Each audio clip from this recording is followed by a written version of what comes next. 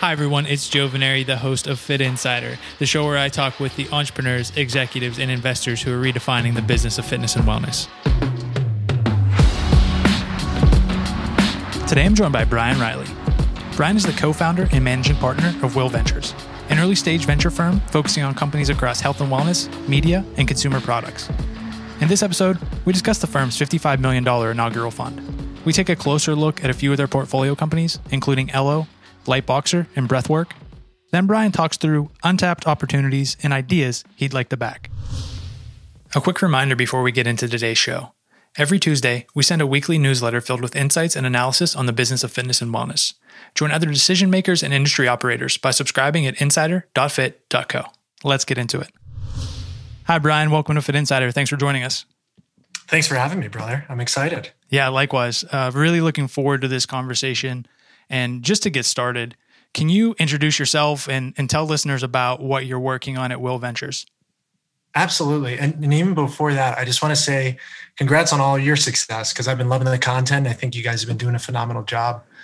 So, I'm co founder of an early stage venture capital firm called Will Ventures.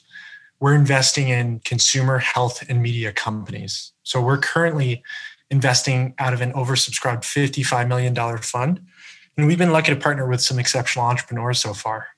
Uh, our investors at the fund consist of university endowments, professional team owners, and proven entrepreneurs. So we were really fortunate to get a great uh, group of LPs behind us for this first fund.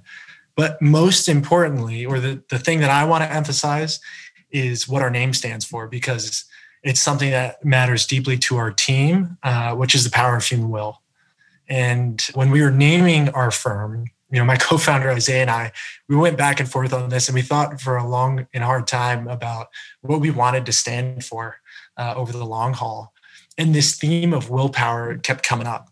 And if you can believe it, we actually had this name going back to like 2013. And on the personal front, it felt like a good fit. You know, my co-founder came from poverty. He was homeless for parts of his childhood. I'm a first generation college student. I come from a working class family. So, so both of us always were kindred spirits around this grinder mentality. And then on a professional front, you know, we've been there too. We understand that starting a business is hard, like really hard. And I mean, you guys know this firsthand. You you did it yourselves. And when your credit card debt is rising and your cash account is falling, it gets really stressful. And it takes a special sort of person to have their back against the wall like that and to say, I'm not going to fail. I'm going to find a way to succeed. So ultimately, we wanted to stand for those sorts of entrepreneurs, right? Those that find a way to persevere in the face of all of that adversity. And so our hope, you know, with our name and our culture and what we stand for as a firm was let's attract like-minded people, people around this theme and partner with them for the long haul. Yeah, that's really incredible. And I think, you know, dialing into that point around the the human will and, and character and what it takes to really start a company and then make it successful, all those things resonate with a founder who's saying, like, essentially, I don't want to be in this alone. And a lot of times you hear, you know, oh, it's, you know, not just a check that we're putting in, like, we're going to help you, we're going to be there to make sure we support you and get you to be successful. But, you know, it doesn't always play out that way beyond the check. So it's, it's definitely good to hear, you know, your approach and where that name comes from. Thinking about you know the investments that you're making how you came to the focus the thesis of will ventures can you just talk a little bit more about the you know obviously companies across personalized health across sports fitness what made you arrive at that as the focus and how do you think about the companies that you're investing in? Yeah absolutely and it's a great question. So our fund one thesis is that sports are a great proving ground for consumer health and media and innovation. And this has been informed by you know my co-founder and i's experience across a couple different companies. We, we started working together over a decade ago actually. And so this thesis started germinating in our heads at a company called mc10 uh, which was a digital health was wearables company that was recently acquired actually. Um, and that company we were working on wearable technology. And this is like 2010 2011 right? So it was like the initial peak of the wearable hype. And we were selling products for you know consumer health or uh, health and wellness all the way to chronic disease management using the same platform right? So we were leveraging the same platform for unregulated and, and regulated products. So was really this interesting intersection And as all of this health and wellness innovation was coming to market, we saw that sports and fitness were such an interesting tip of the spear, or really such like an interesting pressure cooker for these new innovations, because athletes are really the ideal, you know, early adopter. They've got the money to afford it ahead of the mass market. They're financially incentivized. Their bodies, their business, right? So they want to trial the latest and greatest. And then lastly, and just more sort of tactical, tactically, it's a lot faster selling into those markets than it is selling into hospitals and provider systems. So when we saw that at MC10 through that experience, you know, we looked back in time and saw a recurring model. You know, if you think think of you know traditional healthcare innovations like arthroscopic surgery or even X-ray machines, a lot of that pressure tested in elite sports actually, um, or think even consumer trends like fitness, like you know sports nutrition. I mean, that's a great example. Sports nutrition has really impacted consumer nutrition in a profound way. So we saw this recurring pattern that was actually not dissimilar from the impact of, say, like NASA or the space program on general society. And when we looked at this in health and wellness, you know, we saw a wave of innovation that was going to come through sports. You know, we thought sports would be an interesting proving ground. And so that's really um, informed our focus, which is one half primarily on human performance, right? So think things like consumer healthcare, like fitness, like nutrition, and the other half on media and entertainment, things like esports and gaming, things like fan engagement, like streaming. So as a fund, you know, we're, marketed very sports centric, but ultimately we're really investing in consumer, we're investing in health and, and media. For sure. There's a couple things that come up in there. One of them being this concept of, you know, trickle down health almost. We've tried to capture it in some of the newsletters that we've done, it's come up in the podcast. You spoke of it with respect to nutrition and even, you know, some of the surgical treatments. What factor, I mean, did that factor into what you guys were thinking about in terms of, you know, how do we take these things that are initially engineered for an athlete or a high performing individual, but do, are we able to to invest in things that have that breakthrough kind of mainstream appeal to the level that they can be a venture backed company, right? Yeah, it's a great question. And I think there's now a lot of precedents from the Fitbits of the world and more recently the Whoops of the world, right, that have shown this model, particularly on the healthcare side. But this goes back for decades and decades. I mean, you can even look at something like Gatorade, which was literally created for elite athletes at the college level, which has now gone on to influence so many consumers um, across the globe, right? So I think more generally, what we were exposed to as entrepreneurs in sort of the digital health side of things was that no surprise, hospitals don't move that fast, right? Healthcare providers don't move that fast. And that's why I think a lot of venture capital firms are covering this shift from inside the hospital to innovation happening outside of the four walls of the hospital. And that's become a big focus of ours. But then when you think about scaling that and how do you make that accessible, well, aspirationally, it makes sense to have athletes use it for the reasons that we talked through, right? Willingness to pay, willingness to try because for performance, you know, they're battling for one to two percent in uh, performance increases. So it really makes sense for them to try any new therapy or technology. But then to your point on, okay, how do you take that and scale that to the masses? Well, I think that takes the right entrepreneur that has that vision. When we meet with an entrepreneur, we want to meet with an entrepreneur that's leveraging sport to get to a larger market, right? We don't really want to be investing in companies that are just selling to pro athletes. And I think that's got to be by design up front. It's how do you leverage that market to get to the bigger consumer, bigger generalized health play. For sure. And then, you know, another piece of that, and this is something that we've certainly seen when we're putting out the newsletter content, hosting folks on the podcast. It feels like recently if we haven't already hit it, we're certainly approaching it. This inflection point around, you know, wanting to invest in personal well-being beyond the athlete, beyond what you would think of as, you know, digital health or digital health care. So really thinking about nutrition, uh, thinking about sports performance, thinking about just how do I make myself better overall.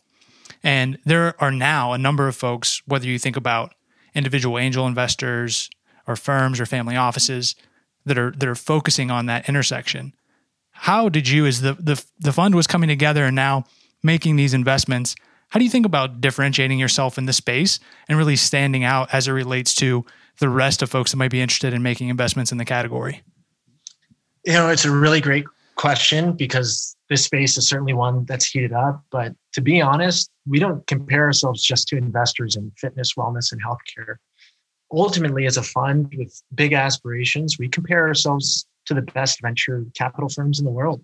Because if you are an investor, that's what you're comparing us to when you're making an investment, right? In Will Ventures, it's all venture capital at the end of the day. And those are who we're competing with for deals, right? If we're investing in the right fast growing market. So that's where we set the bar. And so, with that in mind, when I consider that sort of competition, I think we're different in a few ways. I think, you know, one is we've got a unique, differentiated network that comes from our years in the space as entrepreneurs, as researchers, you know, in and around all the markets that we invest in. We've worked really hard to cultivate this network, you know, of corporates, of strategics like pro sports leagues, of co-investors that are complementary to us. That helps us win for our portfolio companies with introductions, helps us see deal flow. Another key differentiator for us is our expertise across the markets that we invest in we're big believers in investing where we have some know-how and, and we have some experience. You know, my co-founder and I always refer to it as, you know, earning the right to a point of view. And, and prior to Will Ventures, Isaiah and I were part of the founding team of a company called the Sports Innovation Lab. And that's a company uh, based in Boston and, and still thriving. And it's a leader in research, consulting, and advisory services for major corporates. And at that company, you know, it was our job to research thousands of startup companies across all the markets we invest in now and help major corporates develop technology and innovation roadmaps. So that helped us systematically think about where to invest and the themes that mattered to us, right? Through this hard fought research and expertise. And then I'd say generally, and I, kind of touched on this earlier, but it's important to us. I think we're differentiated by our firm culture at the end of the day, and I, I look at this as an advantage, we're a startup firm, right? And we know that. We've been fortunate to have a lot of smart, successful people take a bet on us in this first fund, but we've still got a lot to prove. And we are really hungry to prove them right. So we're going to fight like hell to do so. And you know, everyone on our team played sports through at least college, and a lot of us come from humble beginnings. So we're not a team that gets scared of hard work. We're embracing it. And at the end of the day, you know, everyone on our team is a competitor, and we're going to do whatever it takes to win as a firm. And so that's the mentality we, we bring to business building, to value creation for our portfolio companies, everything we do.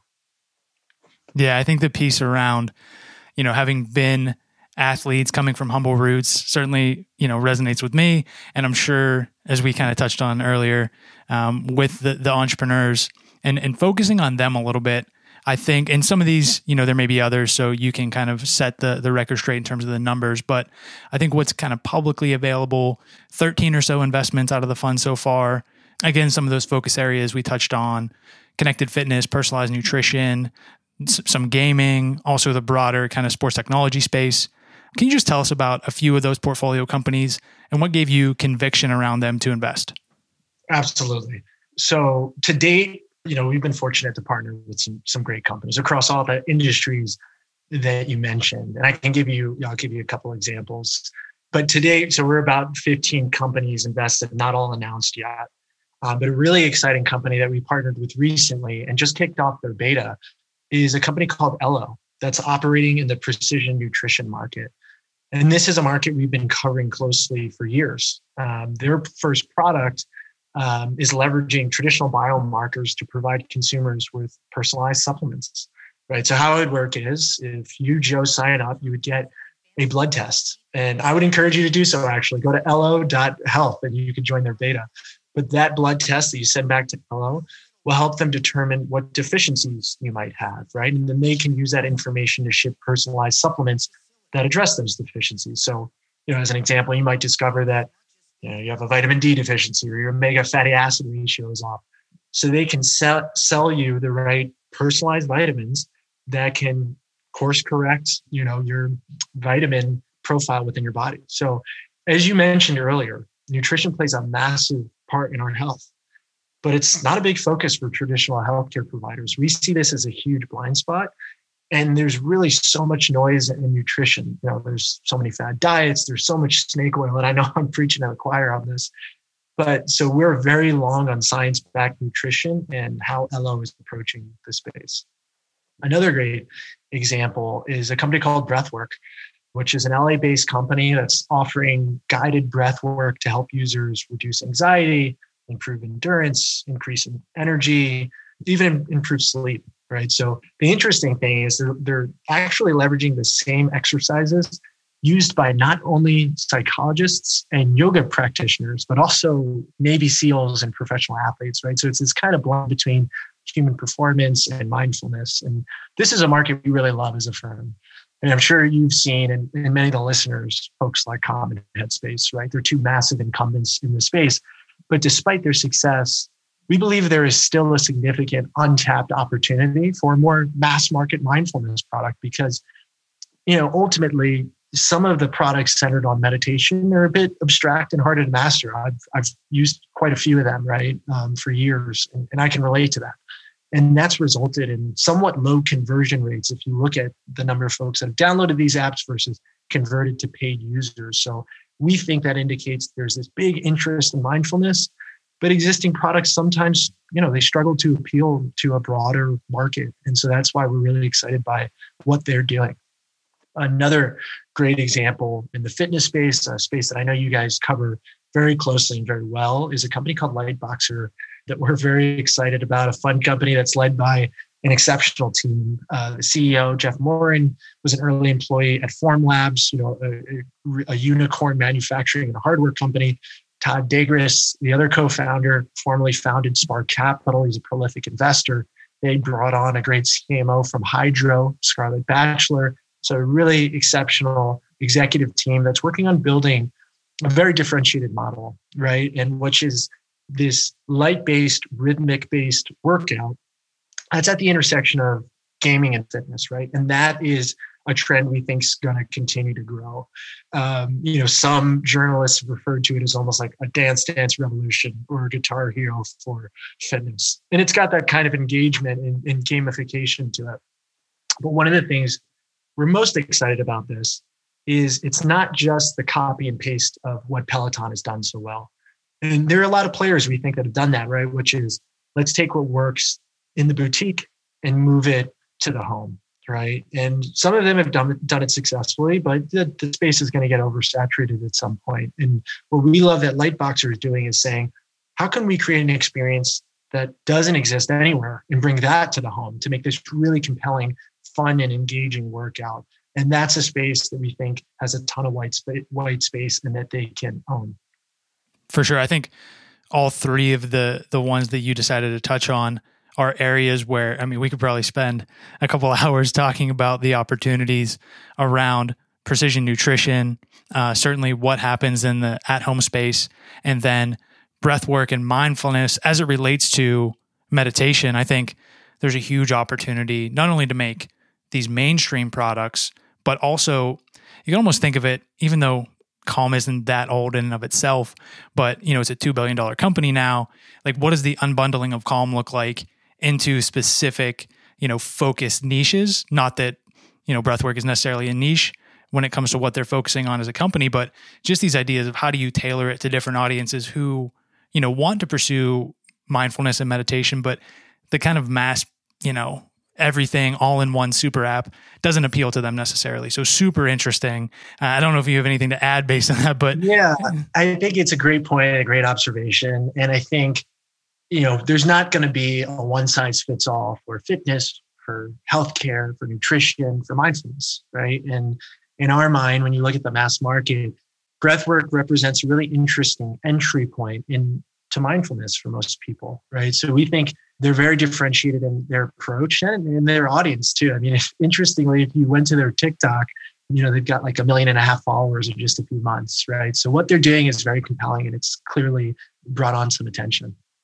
Yeah, I think it's one thing too. And maybe a conversation to have with them when you think about the categories. There was initially like this meditation and mindfulness, but not everybody meditates and not everybody wants to. Um, but then there was like, okay, everybody sleeps. So you have calm going into sleep stories and more of a focus around that.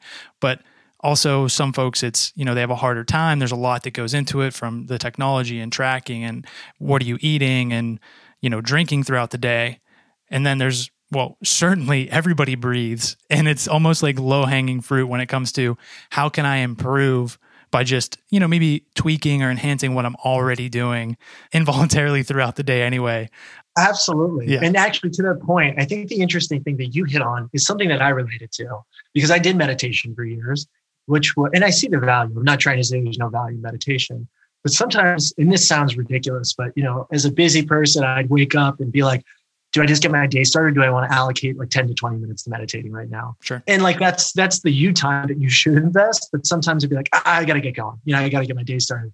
Versus, and by the way, I would only think about it that one time during the day because it was a bigger chunk of time.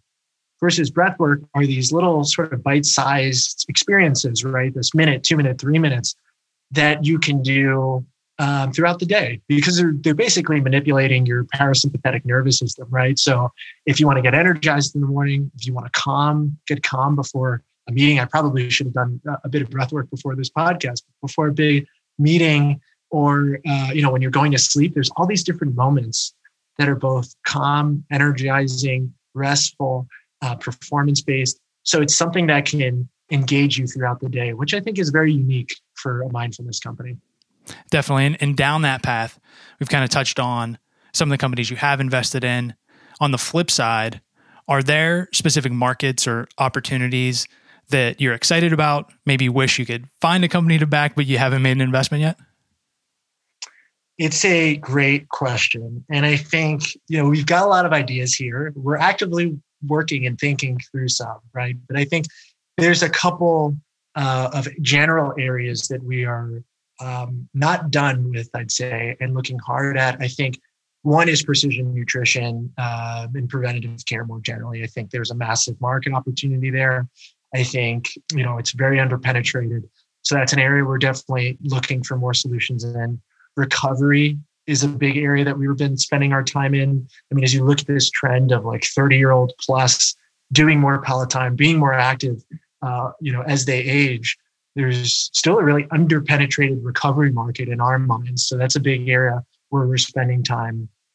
Another big market, or call it a, theme, is human in the loop business models, right? And we invested in a company called Future, which executes this really well. They actually take well credentialed, you know, strength coaches and fitness trainers, and they provide remote personal training with that high credentialed trainer, right? And this model works because for me as a consumer, rather than paying like 100 to 200 bucks a session, I'm getting the best of the best cream of the crop trainer for 150 bucks a month. So it's kind of a no brainer, right? And for these trainers that have really high credentials, you know, some of them are strength coaches for like pro sports teams, they're massively underpaid. And so it creates this personalized model where you're using software to automate what the trainer is doing. So it's a little easier on them and it's a great experience for the consumer. And we've done this in fitness with this investment in future. But I think there's a lot of other opportunities within healthcare to recreate this because there's a lot of underpaid, underappreciated, you know, specialists within healthcare, within nutrition, within health and wellness, where you can create a great consumer virtual experience and bring you know a high credentialed really educated and capable healthcare provider into the loop of it to create a personalized higher touch service so i think that's a model generally that there's still a lot of untapped opportunity in yeah i definitely agree you think about it i recently had you know emily from uh, Wellory on the show they're doing that with dietitians there's a couple different companies. Uh, one most recently launched called Most Days. They're doing that with kind of like therapists for behavioral change. Obviously, when you go down the path, kind of at the intersection of two trends you touched on, what does that look like for the physical therapy space? Because you're talking about recovery. So, obviously, totally. getting that into the home, getting that one on one personalization. Uh, yeah, I think it's going to play out and end up being huge and get them back to the piece around. Really quickly, sorry to cut you off, but if I could just make one point, because I think you talked a lot about unbundling and what you're talking about and all these service specific companies, it's like the unbundling of healthcare providers, yep. right? How are we unbundling PT and you know nutrition services and all of these things to make it a better consumer experience that's more convenient? So I think that's what we're seeing, and that's ultimately what consumer healthcare is. Yeah, that playing out, but there's almost like the extension of that, and it's kind of induced by COVID, which is, you know, we, we, you know, quote unquote, but uh, folks who are certainly have the luxury of spending the money to you know improve themselves from a well-being perspective to invest in you know whether it was a high-end gym membership or a boutique studio or a meditation app like you were spending all this money on something, but it, at the end of the day, it like wasn't that personalized one-on-one experience that can now, you know, we're moving to it's being delivered uh, through telemedicine, through one-on-one training and softwares like Future. Once you get that feeling of like, instead of paying $75, $150 per session, I'm paying that per month and getting this one-on-one attention. I think those, you know, those economics play out. And then on the other side of that, healthcare professionals are also saying like, hey, you mean I don't need to see a hundred people a day every 15 minutes on the minute? Uh, just so like it's mutually beneficial across the board. So yeah, continue seeing that play out. Absolutely, couldn't agree more. And and I think those are where some of the best investments are going to be uh, in consumer healthcare in the next years to follow. Awesome. So you know, zooming out a little bit and thinking about you know, maybe early stage founders who are listening into the conversation, when you're, you know, I'm sure whether it's unsolicited cold emails or folks getting connected, the number of deals, basically your job to see these companies, what criteria are you looking for when you're considering an investment? Is there a revenue number, traction in terms of users? Will you guys come in, you know, pre product or pre revenue? What do those factors look like?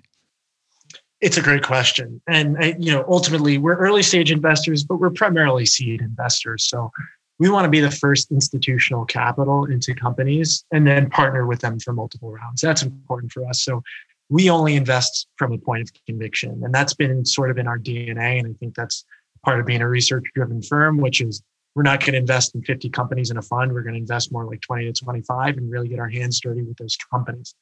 So for um, you know prospective entrepreneurs, one of the thing, the most important thing we spend our time on is the team, right? And in particular, the management team, and in particular the CEO. Can she or he attract talent? Can she or he attract capital? Inspire a team? I mean, that is such a critical role. And as seed investors, we're not a private equity firm that's trying to come in and change the operator, change the founder. We're backing people, right? So we spend a ton of time with CEOs and, and try to really understand them and, and, and make a bet on do we think this person has the grit, the term, determination, the obsession to make this work? Could we see ourselves working for that person, right? Are they charismatic and a great leader? Are they high integrity people? That is, you know, one of the most, if not the most critical thing uh, we assess in our diligence. I mean, with that, what's the unique insight that this company has, right? Does this company have subject matter expertise? And that doesn't always mean you had to work in a space for a decade. That helps, but have you done the work? Are you obsessed with this problem? We want to be able to pressure test your assumptions and for you to have thought through the hard questions. That kind of gives investors a sense of calm as they're doing their diligence. Um, and then, of course, with that, some basic things, right? Like competitive landscape. Um, is what you're doing differentiated? Is it defensible? We spend a ton of time in our diligence understanding this. And I think this is one of our competitive advantages. Being a re- research driven fund is being able to spin up a lot of this work fairly quickly. Um, and of course, you know, I think the knock historically on things that are sort of sports and sports adjacent is you know, is this venture scale? Is this niche? We are investing directly into consumer health and media, right? But we're always thinking about, of course, market size. Is this venture scale? Can this be a multi billion dollar company? Those are the sorts of things um, that we're assessing at a very high level. Yeah, absolutely makes sense. And then just down that path of engaging with entrepreneurs, companies in an early stage, how do you think about your role in terms of you know helping them succeed or you guys more hands on? Do you let them do the work, come to you whenever there's questions or areas, or are you kind of asserting yourself in a, a more kind of helpful, strategic way? Um, what does that relationship look like? No, that's a great question. And uh, again, because we're investing so early, we get into this eyes wide open. Like if I'm backing a company, it's we're partnering for years to come, right? Five, eight years, 10 years. We're, we're going to be partners in this. And we don't take that lightly. You know, we take that seriously. And so, from a general level, we look at ourselves as teammates and advisors to our portfolio company CEOs. I tell all of our portfolio company CEOs, like, we work for you, put us to work. And I think actually for any entrepreneurs listening, this is a good thing to have front of mind always is to keep your investors busy, ask them for things, make them work for you, because that's our job. It's to make your lives easier and it's to add value to what you're doing.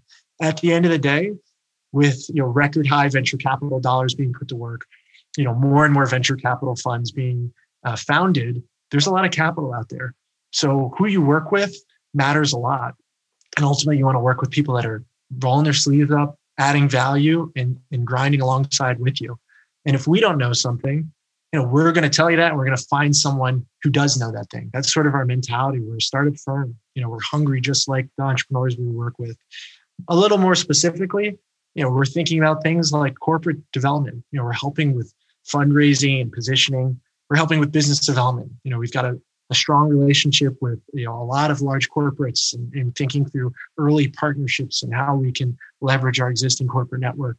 Sales and marketing, right? How are you uh, positioning your firm? How are you scaling up your sales organization? Those are the sorts of things that we're helping our our founders think through. Yeah, and I think you know folks listening, if they are operators, probably getting pretty excited by by some of the things you touched on. Uh, I know things that would resonate with them as they think about uh, how to make their company successful. And and actually, I think that's a, a good place to to probably wrap up. And we'll we'll get you out of here on this. What's the best way if folks are listening, they want to get in touch? What's the best way to to follow along uh, and get on your radar?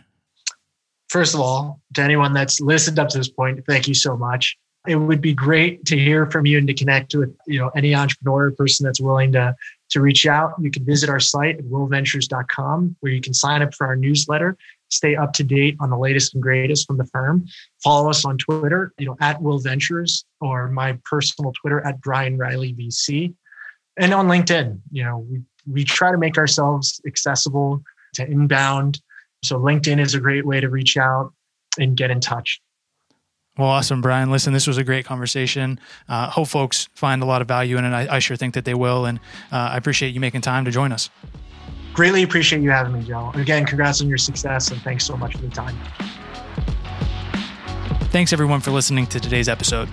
For more from Fitt Insider, visit insider.fitt.co and subscribe to our weekly newsletter for insights and analysis on the business of fitness and wellness. Then go ahead and subscribe, rate, and review the podcast. See you next time.